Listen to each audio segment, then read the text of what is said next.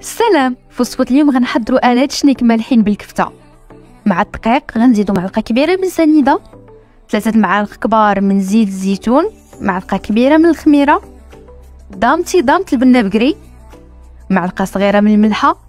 وشوية الماء دافي ونخلطو كل شيء نغطيوها بالسلوفان ترتاح في مقلة. فيها شوية ديال زيت الزيتون. غنشحرو بصلة مشلضة. ونزيدو التوابل اللي غتلقاوها مع المقادير في لا ديسكريبسيون.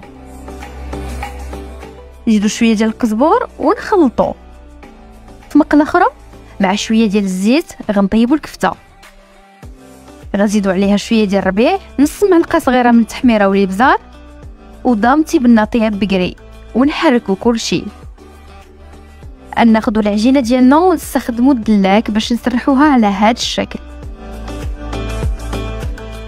وندهنوها كاملة بالزبدة دايبة. نفرشو البصلة هي الأولى. من بعد الكفتة والفرماج. وندوروها على هاد الشكل غير بشوية. من بعد غنحتاجو الموس باش نقطعوها بحال هكا. وندهنوها من الجناب بصفار البيض. ونضيفو الفرماج من الفوق. وندخلوهم الفران. وبصحة والراحة مع دامتي.